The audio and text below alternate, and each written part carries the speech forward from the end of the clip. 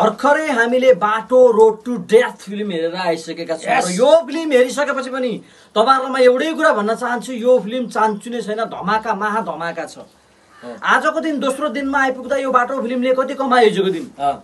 साथै दयाङ राईको गाउँ आएको बाटो।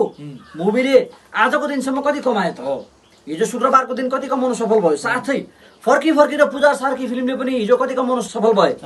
यावत विषयमा आज हामी चर्चा गर्नेछौँ विशेष गरी बाटो रोड टु डेथ मुभीको रिभ्यू पनि आज हामीले यसै भिडियोमा समावेश गरेका छौँ। अन्तिम समय यो भिडियोलाई हेरेर हामीलाई साथ दिनु होला र भिडियो मन परेमा लाइक अनि सब्सक्राइब गर्न पनि नबिर्सिनु होला. हामीसँग हुनुहुन्छ रघुडा कालज्यू। स्वागत छ कार्यक्रममा। नमस्ते सबैजनालाई। सर तपाईँले बाटो रोड टु डेथ फिल्म हेरेर आउनुभयो नि होइन? ए भगवान्! यो फिल्म त हेरेँ होइन तर कस्तो लाग्यो? कस्तो लाग्यो भन्नु त? एक वाक्यमा भन्नुहोस् त एक वाक्यमा भन्नुपर्दा बबाल छ फिल्म बबाल। बवाल छ है बवाल यसलाई त बबाल भन्न पनि मिल्दैन अझै महाबबाल। महाबवाल भन्नुपर्छ है। होइन नेपाली फिल्ममा यस्तो फिल्म त अहिलेसम्म कसैले पनि बनाएको थिएन होला हौ। है? पहिले हेर्नु पर्छ अहिलेसम्म यस्तो फिल्म बनाएको थिएन जस्तो लाग्छ मलाई। कसैले पनि बनाएको थिएन यो पहिलो पटक यस्तो फिल्म आएको होइन। अँ। त्यही माथि पनि मैले त सुरुमा अझै ट्रेलर हेर्दा के सोचेको थिएँ भन्दा हल्का भूतको पनि हो कि भनी सोचेको थिएँ। भूतको होला। भूतको त नरहेछ भूतको नरहेछ यो फिल्म बबाल छ बबाल होइन। यो हामीले जुन अनुमान लगाएको थियो नि साइको थ्रिलर हो त्यही हो क्या यो फिल्म। साइको थ्रिलर होइन अब विशेष गरी त्यो के जङ्गलमा त्यो गाडीहरू कुद्छ नि। त्यति बेला हेरौँ न त्यो सिनेमाटोग्राफी हेरौँ न ए भगवान् फिदा भएन त फिदा। बाटो एकदम बबाल छ तर दुःख पनि लाग्यो एउटा कुरा। के कुराले दुःख लाग्यो तपाईँलाई? ल भनिदिनुहोस्। हलमा दर्शक थिएनन् कि? लास्ट दुःख लाग्यो। एकदम दुःखको कुराहरू है। हलमा दर्शक थिएनन्। यो फिल्म होइन हुन त हलवालाहरूले पनि खासै धेरै सोच दिएका होइनन् यो फिल्मलाई। हलवालाले धेरै सोच दिएनन्। त्यही माथि पनि अब अलिकति चलेको कलाकार छैन नि त फिल्मभित्र। होइन त्यसैले पनि चलचित्रको हाइप अलिकति कम देखिएको हो। अँ, है? चलचित्रको हाइप कम देखिएको हिजोको पहिलो दिनमा पनि खासै धेरै धमाका मचाउनु सकेन फिल्मले। हिजोको दिनमा? हिजो रिलिजको पहिलो दिनमा अब त्यही आठदेखि दस लाख जति कमायो होला। किनकि एडभान्स बुकिङ पनि थिएन नि त चलचित्रको होइन। अनि त्यसमाथि अब दर्शकहरू पनि खासै हलमा थिएनन् अनि सो पनि सो। पनि खासै थिएन। अनि तपाईँलाई म अब स्टेप बाई स्टेप हामी यो। मुभीको रिभ्यू गरौँ है त? यो बाटो द रोड टु डेथ खास कस्तो खालको मुभी हो र कस्तो खालको कन्सेप्ट मन पर्नेले हेर्ने मुभी हो? यो त त्यही त नि कस्तो भन्दा अब होइन? हुन त अब हलिउड बलिउडमा त अब यस्तो खालको फिल्म धेरै आइसकेका छन् होइन। एउटा साइको थ्रिलर के? एउटा मान्छे होइन? दानव रूपी मान्छे हुन्छ नि। हो त्यस्तो खालको के? अब विशेष गरी चाहिँ अब यो काठमाडौँदेखि होइन? धरानमा जाने क्रम जाने क्रममा बाटोमा के कस्ता समस्याहरू आउँछन् होइन कस्ता दानव रूपी मान्छेहरू हुन्छन् होइन यस्तो राम्रो तालले फिल्मको जुन प्रस्तुतिकरण देखाइएको छ कि होइन कुरै नगरौँ कि। फिल्म अ, को चाहिँ म तपाईँलाई अब पार्ट पार्ट वार्ट वाइज चाहिँ सोध्न चाहन्छु है। हाफ टाइमभन्दा अगाडिको पार्ट कस्तो छ र हाफ टाइमभन्दा पछाडिको पार्ट कस्तो छ त्यसको बारेमा सर भनिदिनुहोस् सबैभन्दा मलाई पार्ट वान चाहिँ एकदम बबा लाग्यो है। हाफ टाइमभन्दा अगाडिको पार्ट एकदम बबा लाग्यो होइन। र पार्ट टू पनि ठिकै ठिकै लाग्यो पार्ट टू पनि बबालै छ। तर चाहिँ अब पार्ट वान चाहिँ एकदम बबाल छ कि? पार्ट वान अझै बबाल छ अझै बबाल छ। अनि यो मुभीको ल ठिक छ त्यो हामी अझै यसलाई डेप्थ एनालाइसिस गर्छौँ। यो मुभीको तपाईँलाई राम्रो लागेको पक्षहरू के के थिए यहाँभित्र ल? यो फिल्मको दर्शकहरू चाहिँ यदि। फिल्म हेर्न गयो भने के के कुरा पाउँछन् उनीहरूले? कलाकारहरूको अभिनय है बबाल. सिनेमाटोग्राफी त कुरै नगरौँ के? यस्तो खालको अहिलेसम्म थिएन हलिउड बलिउडमा होला। नेपालमा यस्तो खालको सिनेमाटोग्राफी नै छैन। जुन त्यो गाडीहरू हुन्छ नि रोडमा त्यो खिच्ने हेरौँ न। तरिका। अनि हेर्ने बेलामा नि झिसिङ झिसिङ के? तपाईँको गुजबम पुरै झिसिङ झिङ हुन्छ कि? आमामा डर लाग्छ कि फिल्म हेर्दा पनि? अनि कलाकारहरूको अभिनय बब्बाल। कलाकारको अभिनय अभिनय पनि बब्बाल छ है। अभिनय त कडा हाने है उम्। सबसे सबभन्दा बवाल अभिनय कसको लाग्यो? सबैभन्दा बबाल अभिनय त यार यो जुन यो भिलेनहरूको छ नि। भिन्चर गरेछ नि। ए भगवान् नेपाली नै भिलिनु नि जस्तो।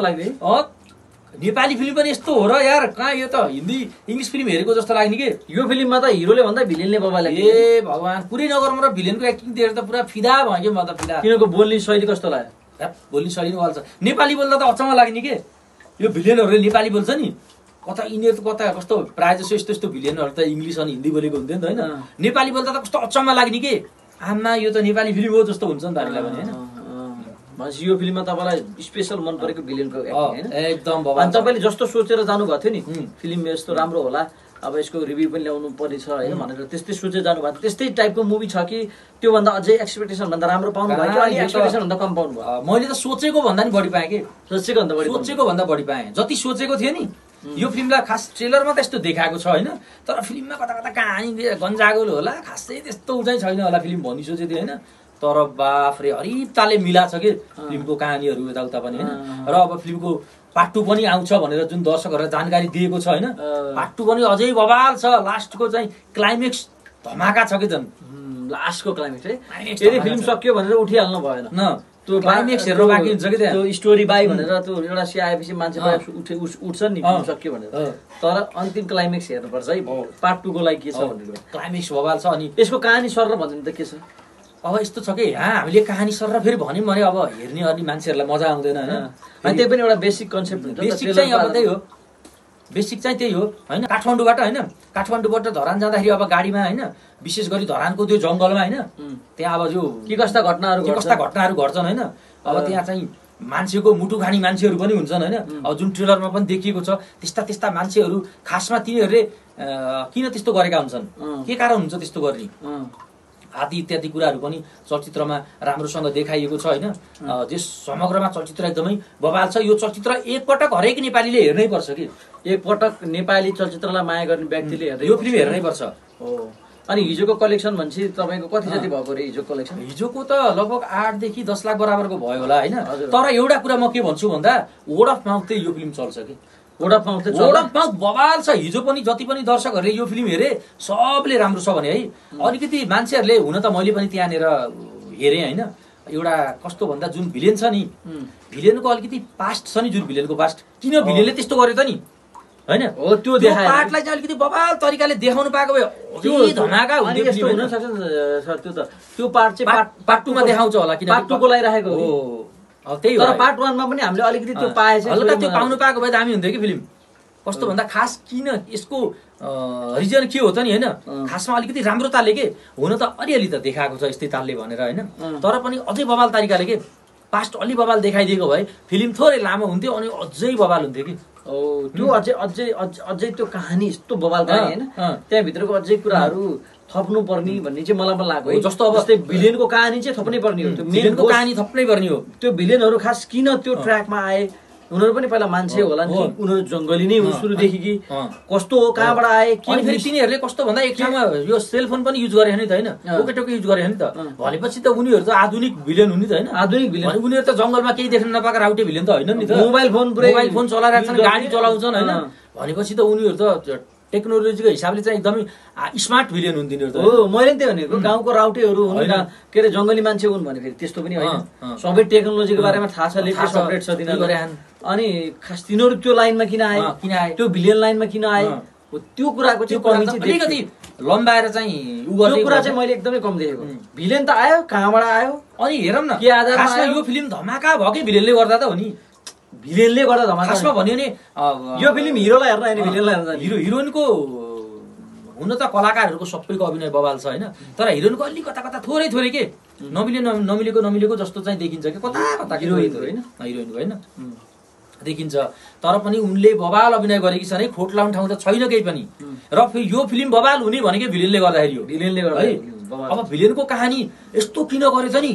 हल्का अब जस्तो साउथ इन्डियन फिल्महरूमा त हल्का कहानी त टक्क राखेको हुन्छ नि त। जोड छ होइन? जोड छ पास्टलाई जोडेर? छ नि यस्तै टाइपको। अब सेम यस्तै मुभी छैन तर यस्तै मुटु चाहिँ निकाल्ने टाइपको हुन्छ नि गुन्डा। अनि त्यसको किन मुटु किन यसरी मुटु निकाल्छ भन्दाखेरि चाहिँ उसको छोरी चाहिँ सानोमा होइन। मरेको हुन्छ होइन। र त्यो एउटा डक्टरले चाहिँ मुटुकै कारणले गर्दा चाहिँ उसको त्यो बच्चाको मुटु निकालेको कारणले गर्दा चाहिँ त्यो चाहिँ उसको बच्चा मरेको हुन्छ नि त्यही रिसले गर्दाखेरि उसले जो जो- जोसुकै बच्चा देख्यो भने मुटु निकालिहाल्ने। त्यस्तो टाइपको कहानी जोडेको हुन्छ नि त। यसमा त्यही त भिलेनको कहानी नजोड्नाले म बवाल भएन। किनभने यो फिल्म हेर्ने भनेकै भिलेनको लागि हो? भिलेनको लागि हो कि? यो फिल्मको हिरो नै भिलेन हो कि? हो वास्तवमा भन्ने थाहा छ तपाईँलाई? यो फिल्मको हिरै भिलेन हो कि? हो हो तर यसमा चाहिँ हल्का त्यो कहानी जोडिएन। हल्का जोडिएन। अब हुन त पार्ट टूमा आउँछ होला। पार्ट टू आउँछ भनेर अब जुन भनिरहेछन्? Part टूमा part टूमा। सायद अब अझै बढी योभन्दा बढी आशा लिन सकिन्छ है पार्ट टूमा अझै बवाल होला पार्ट टू तर यतिको फिल्म नेपाली फिल्म इन्डस्ट्रीमा बनेको छैन। छैन नि कहाँ यो फिल्म त? सायद यसले इतिहास रत्न सफल होला किन होला? यस्तो भयो कि? अब मैले भने नि यो फिल्मको खासमा प्रचार प्रसारै छैन कि? हलमा दर्शक रूप किन छैनन् त नि। फिल्म नराम्रो भएर होइन नि हजुर? प्रचार प्रसार भएन कि? प्रचार प्रसार भएन। होइन फिल्मको प्रचार प्रसार गतिलो भइदिएको भए यो फिल्मले धमाका कमाउने थियो। तर पनि जस पछिसम्म यो फिल्मले राम्रो कमाउँछ है। आजभन्दा भोलि भोलिभन्दा पर्सि पक्का पनि अब राम्रो भएपछि त जसरी नै कम- कमाउँछ नि त यो फिल्मले त होइन।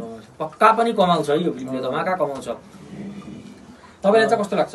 मलाई पनि लाग्छ यो। फिल्मले यो फिल्म चाहिँ प्रचार प्रचार विज्ञापनले भन्दा पनि दर्शकहरूको रिभ्यूले राम्रो पोजिटिभ रिभ्यूले चाहिँ राम्रो चल्छ। हो कि अहिलेसम्म मैले हिजो हिजो हामीले यो फिल्म हेर्न पाएका थिएनौँ होइन? अनि अब हल्का यो फिल्म कस्तो छ त नि भनेर अलिकति अब हेरिन्छ नि त होइन हामीले पनि? लगभग नाइन्टी नाइन पर्सेन्टै राम्रो भन्ने देखियो कि? कसैले पनि नराम्रो भनेन कि यो फिल्मलाई? जतिले पनि हेरे हरेकको रिभ्यू राम्रो देखियो कि। तर यो प्रिमियरमा मात्रै एउटा कलाकारहरूले राम्रो भनेर त फिल्म राम्रो हुन्छ भन्ने ग्यारेन्टी हुन्न नि त। त्यहाँ त फ्रीमा हेर्न पाएका हुन्छन्। अब हचुवामा पनि उनीहरूले भनिदिन्छन् नराम्रो भन्नु भएन होइन। तर पनि दर्शकहरूले भनेको त उनीहरू त्यत्तिकै भन्दैनन् नि त। होइन? त्यही भएर यो फिल्म बवाल छ होला भनेर म हिजो बेलुकादेखि नै एक्साइटेड थिएँ। हिजो दिउँसो त्यति थिइनँ फेरि। है? हिजो दिउँसो चाहिँ खासै थिइनँ जब चाहिँ सबले राम्रो छ भनेर ऊ आयो त्यसपछि चाहिँ ओहो फिल्म बवाल छ है। भनेर हामी हिजो राति पनि गएको होइन। हलमा गयो हलमा गएपछि हलमा सो नरहेछ अनि फर्केर आयौँ हामी।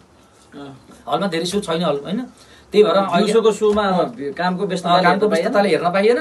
बेलुका फेरि सो रहन्छ। अनि नभएपछि अनि हेर्न पाइएन।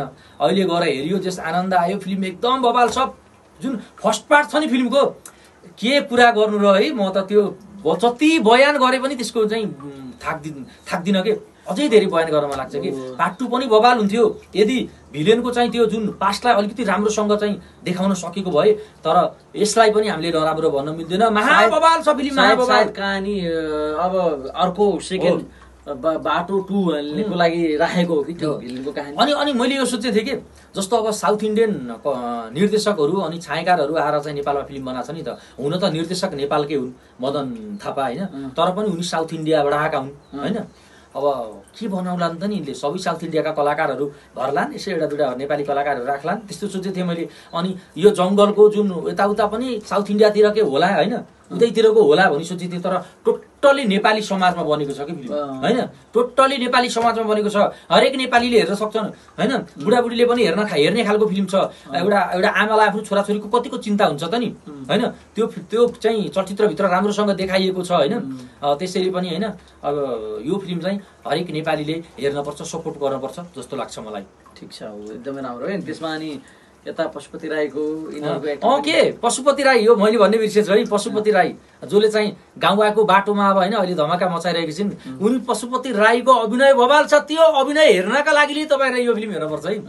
तपाईँ पशुपति राईको त फ्यान हुनुहुन्छ नि। अँ। गाउँ आएको बाटोमा जसले चाहिँ धमाका मचाइरहेकी छिन् होइन उनको अभिनय पनि बब्बाल छ। यो फिल्ममा पनि बवाल देख्न पाइन्छ होइन? ठिक छ ल। गाउँ आएको बाटोको अब कुरा हामी गरौँ। बाटोको हामीले रिभ्यू पनि दियौँ। तपाईँलाई सायद मन पर्यो होला। गाउँ आएको बाटो दयाङ राईको। तहल्का कस्तो चलिरहेको छ त अहिले त्यसको बारेमा आज त चलचित्रले तिस लाख भन्दा माथि कमाउँछ होला हौ। आज शनिबारको आज। शनिबारको दिनमा हिजो हिजो शुक्रबारको दिन कति कमायो? हिजो शुक्रबारको दिनमा चाहिँ लगभग पन्ध्र लाखदेखि बिस लाखसम्म कमायो भन्ने जानकारी आएको छ आज आठौँ दिनमा दिनमा प्रवेश गर्यो। आज नौ दिनमा प्रवेश गर्यो होइन? अब आजको दिनसम्म आइपुग्दा चलचित्रले। लगभग लगभग दुई करोड पचास लाख भन्दा माथि कमाएको जानकारी आएको छ होइन।